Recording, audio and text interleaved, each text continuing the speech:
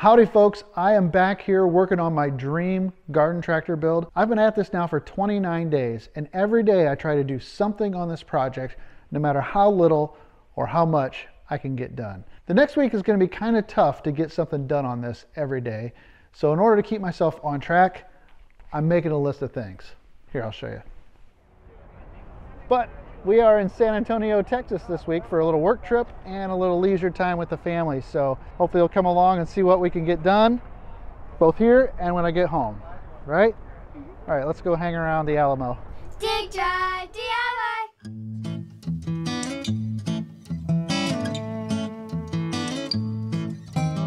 Well, it's day 30. No, don't worry, I'm not gonna take away a bunch of our family or vacation or work time to work on the tractor, but instead of watching TV at night, we all just kind of sit around on our devices anyway. So I thought I can make use of that time and stay on this project. So I've got my list that I brought from home.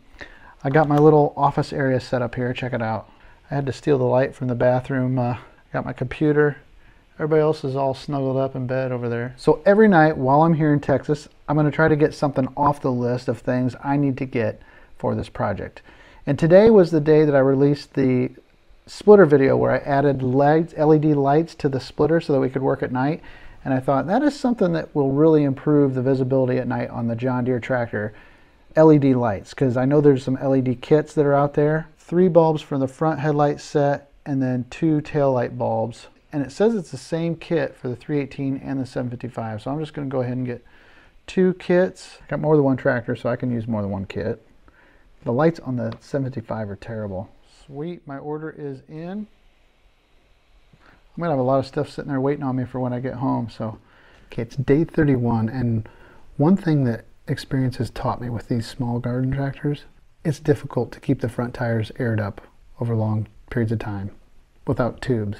I'm gonna do the safe bet and get some tubes. So tonight, I'm gonna order these tubes from Amazon. Well, it's not a lot, but it's something. Now I won't have to fight flat tires on the front. Well, today is day 32. We've had a good night. The girls got to hold a chicken tonight. So we've been having a lot of fun here at the conference. But this is one of the things that's easy to forget about. But when you walk around the tractor and you make a list, you see these in the front, they collect dirt like it's nobody's business. It's the little rubber caps that go in the hydraulic ports. And I'm going to get a set of four of these. And done. eBay makes it easy to find and buy this stuff. Okay, well, it's day 33 here, and our work conference is officially over. But we're going to hang around for a few more days here in San Antonio. We're going to go to SeaWorld. But anyway, I'm working on my list. I technically already have this, but it's the wrong color. And so I'm going to have to get one that matches a little bit better. The one that's on there is green, and that's going to be a little bit clashy. So I'm going to, I've been shopping for something else, and I found something that's just right because it's of the right era.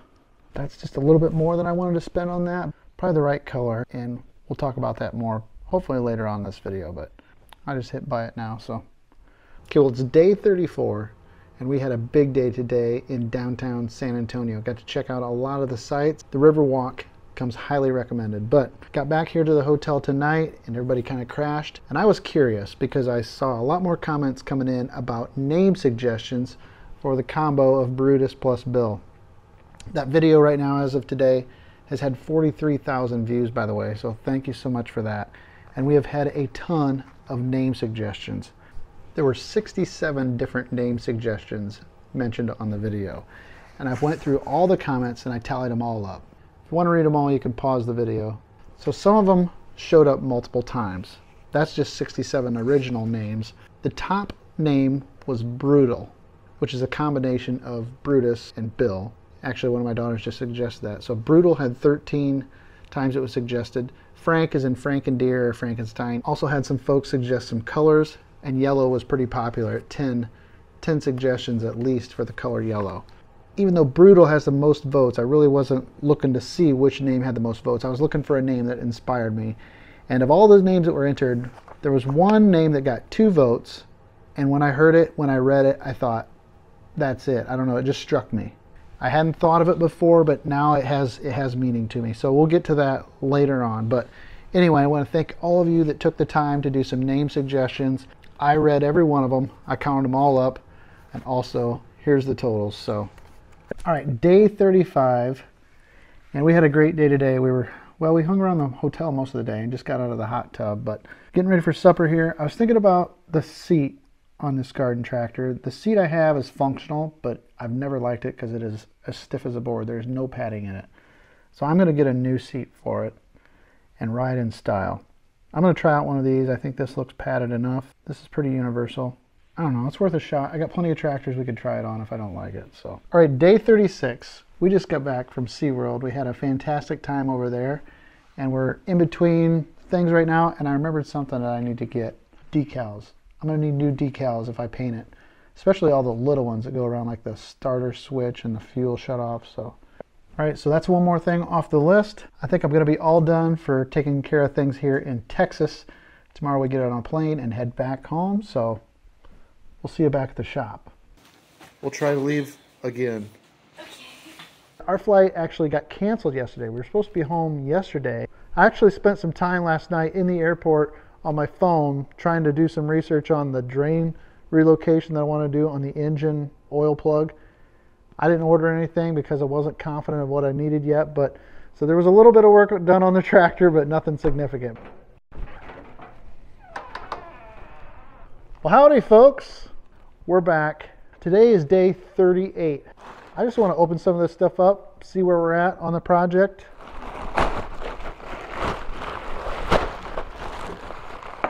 That's that John Deere steering wheel knob. That's going to look good on there. Got the tubes, got more trash. All right, so one thing I could do tonight besides just open a few packages because I've kind of been anxious to get back on this tractor a little bit. It's been on there a while. All right, well, that's one little thing, right? Tomorrow's another day. I'm glad to be back home. We're gonna have to make some serious progress on this now. Well, today is day 39 and I'm a little tired.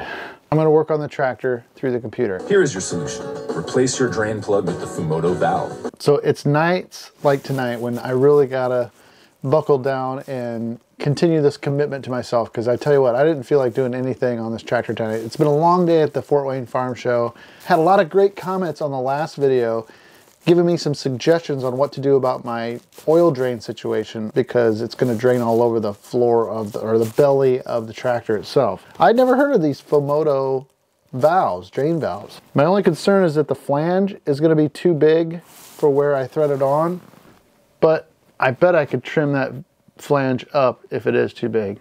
They're expensive, but that would solve all my drain plug issues. All right, time for bed.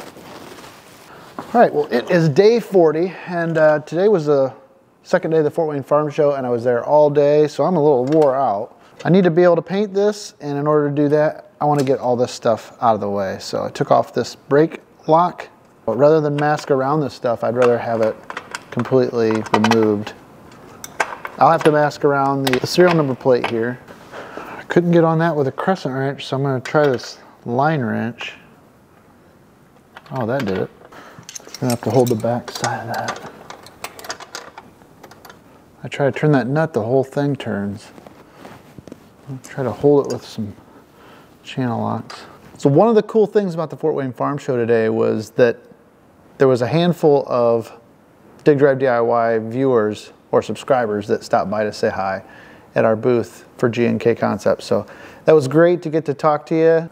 Thanks for stopping by and saying hi, and hopefully we'll run into each other again sometime. All right, well that took a little bit longer than I thought, but that's the name of the game. We just got a little bit more done. Another day, maybe we'll get some more done here eventually. Day 41.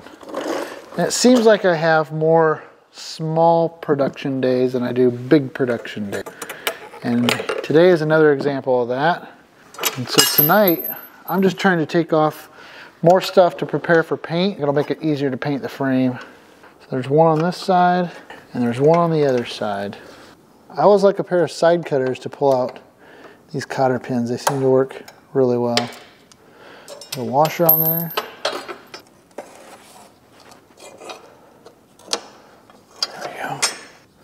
All right, well that's a couple more things removed in order to prepare for paint.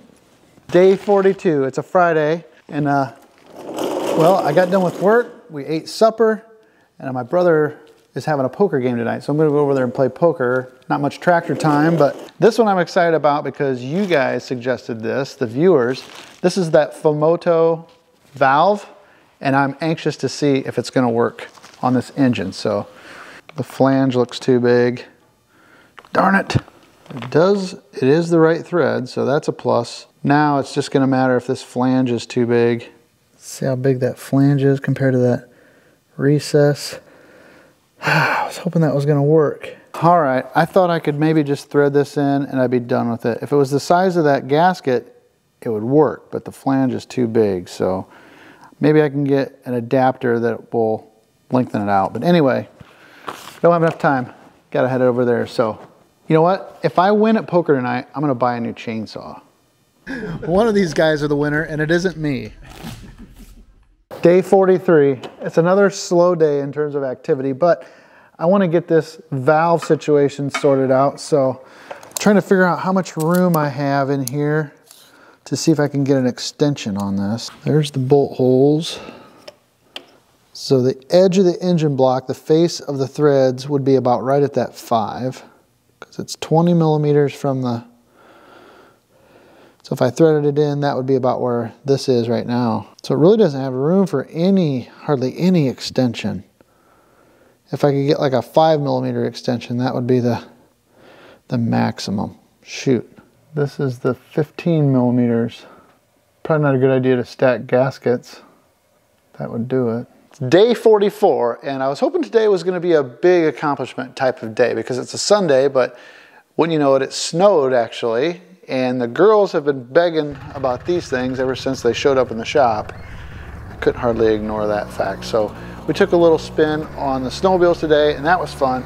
But that leaves me with not much time and not much energy really to work on this. But there's one thing I, I've kind of been doing long term that I want to try.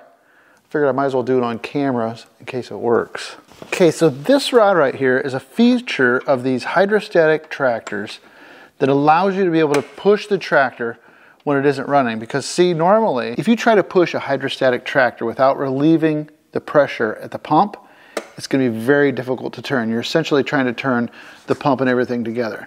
This one is hard to push backwards. I'm able to do it, but it's, it's difficult. What you're supposed to do if you have to manually push these, for example, if they won't run, there's this lever right here, and you push down on the lever, and it even says on there in a little sticker, you push down on this lever and it depresses these buttons in the top of the pump and then it allows it to freewheel easily. And what happens over time is these buttons don't go down inside. That's what's going on with these. It's hard to fix because the fender pan is normally on here and you can't get to these buttons. But I've been spraying these with WD-40 for the past month and tonight I'm gonna, I'm gonna bump them. Okay, here goes nothing. I don't wanna get too rough with it. That one went down. Okay, they're going down. Now hopefully they'll come back up. If they don't, I'm gonna have to tear these apart. Let's see what we can see.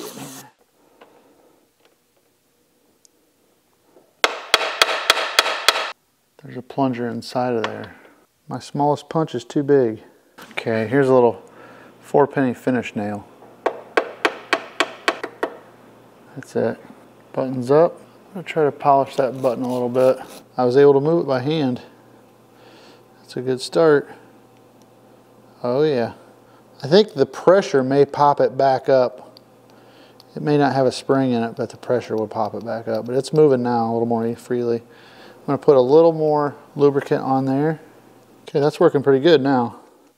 Okay, I'm going to put that back in and do the other one. It's a one inch socket, by the way. Did I say that before?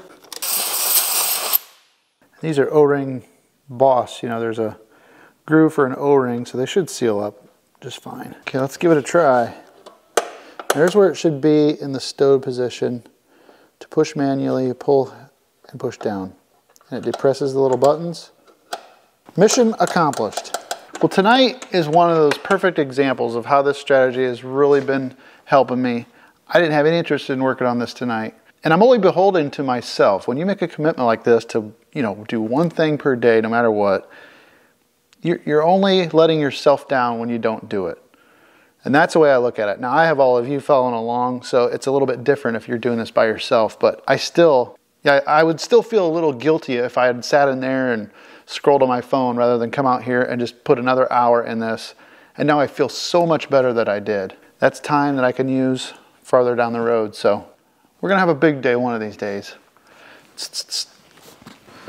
All right, day 45, and I wanna do something about these brake pedals. They're, well, I think what has happened is this one is bent and they don't line up anymore. They should line up and you should be able to lock them together, but uh, they are way spread apart. And the other thing is, is the pin that stops them on the bottom here is also bent. So I either need to straighten or trade them out. And I've been thinking about what to do here. And I do have a parts tractor and I think it's got some nice brake pedals on it. I think I'm gonna be way time ahead to just switch them out and call it a day.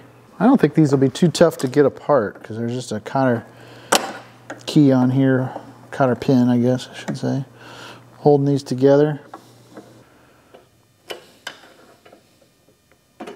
This has got two different rods hooked to it.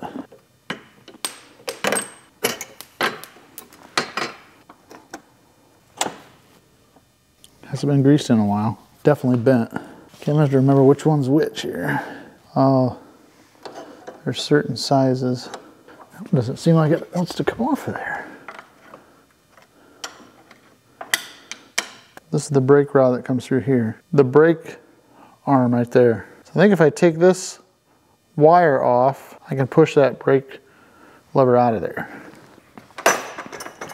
Something's still holding it in there. Well, maybe it would be easier just to straighten this one. I was trying to avoid getting the torch out and doing a lot of banging and bending, but that's not gonna come out of there real easy, that's a pain. And this one's close. I could, maybe I could just do the one brake pedal and tweak this one around to match. So, all right, I'm gonna go look at that other one. It's about midnight, I'm ready to call it a night. All right, day 46. Here's the fender pan that came off of Bill. This is not a donor tractor. This is this is the old timer. This is my original 318 right there, the first one I ever bought. There's a 322 that runs. It's got some kind of issue. It's got the same powder coat disease that Bill had. Okay, I just came up the stairs. Got another tractor up here. This is one where I'm gonna get the brake pedals. Look at that, those are nice. That's the way it's supposed to look. What do we have here? All right, back to the shop. So I'm trying to get figured out what is my best set of tins. This is all, these are all parts and pieces that don't go with the other two tractors that I want to keep. That's my original 318 and that 322. So the reason I'm doing this is I think I'm going to take these parts, the metal parts, to a sandblaster and get them blasted. It'll save me a heck of a lot of sanding and filling the shop full of dust. And I got to pick which hood I'm going to use. Check this out. New old stock. Not pretty cool. So I asked for this for Christmas one year for my folks because I wanted to fix up the old timer. From what I could tell in the labels on the box, it was built in 99 and shipped in 02. 21 years I've had this probably. I feel like I should hang it up or do something with it. I'm not gonna put it on this tractor because this tractor's not gonna be green. This one's a good one. I think I know which ones I'm gonna use. Obviously the hoods can't go to the sandblaster. They're made of fiberglass, but the rest of it I know I'm gonna take there and I want to get that going so we can move along with something a little more fun. Day 47, and unfortunately today wasn't a day to work on the tractor. It was a day to make some phone calls. I'm trying to figure out where I'm going to take the, uh, the stuff to get sandblasted. So I worked on the tractor in that way today. You, I can't believe how much time is spent like researching, finding parts, ordering things. It's a good amount of time on a project. So check her off though. Well, it's day 49 and I'm trying to get things ready to go to the blaster.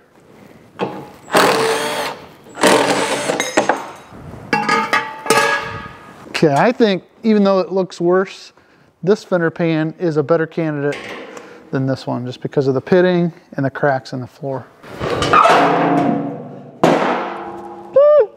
All right, well, I think I got everything laid out that needs to go to the blaster. So when he gives me the call to say he's ready, I can load all this up into the truck and take it over there. I'm gonna do all the wheel weights because they all need it. I'm gonna do this fender pan for reasons explained. I hope I'm not forgetting something. I'm not gonna do the three point hitch and the draft arms and all that. This is, this is not a full restoration. This is just a refreshment. Well, it is day 50 and the sandblaster guy I had lined up fell through, so I'm gonna take this somewhere else on Monday once they're open, but I wanna get it loaded up so I'm all ready to go. I spent the whole day cutting wood and that was much needed because we are about out. But this is definitely on the list. Every little thing just takes a little bit of time, so now I don't have to try to do that Monday morning before work. All right, it is day 51, and I'm out trying to find somebody that'll sandblast these panels on this garden tractor. I'm out here exploring in Amish country, and I think I've been directed to the right place, but I'm gonna walk in and find out if they'll blast this stuff for me. This way it all keeps it really local. I didn't have to drive to the big city to have this done. Here we are.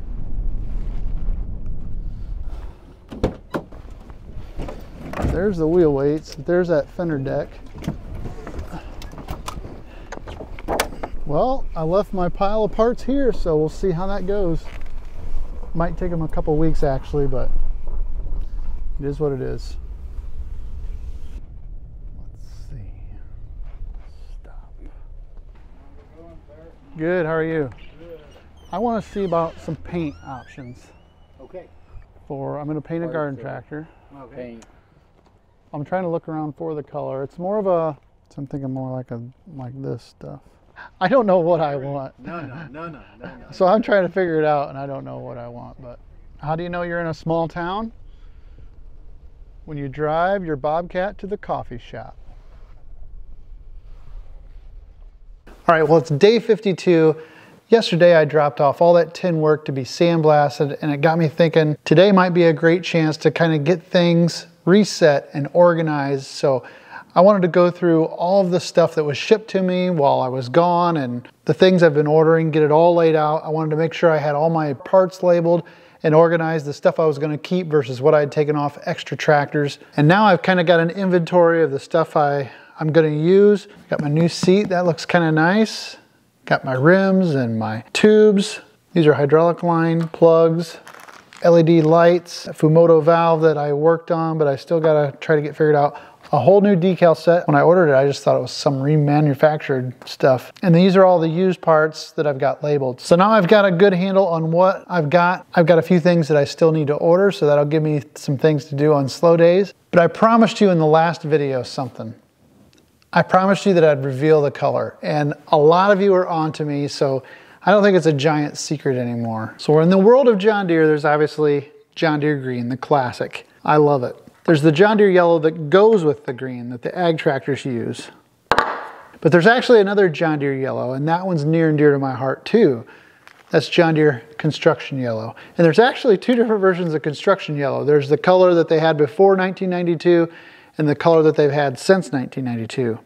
So as many of you have deduced and reasoned and assumed, I want to go with a construction yellow John Deere garden tractor. It's just been a dream of mine ever since I was a kid and something I've always wanted to try. Now I get that this isn't gonna be everyone's cup of tea. I perfectly understand that. I'm not even 100% sure I want it. But like I said, if this is truly gonna be my dream garden tractor, then this is something I've dreamed about for a long time. And right or wrong, I'm gonna do it and see what it turns out like. So I don't know, hopefully I don't lose a bunch of you with that, but that's my thought process. Let me know what you think. Am I crazy or what? But there's still a green John Deere 318 in my future. Don't worry about that. But for now, this is what we're going with. I want to thank you so much for clicking on this video. I know we didn't accomplish a whole lot here this time, even though it's been a long span of time, but we're just grinding away every day as we can.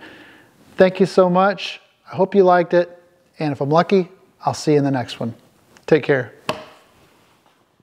What do you think? New uh, Dig Drive DIY hat merch here?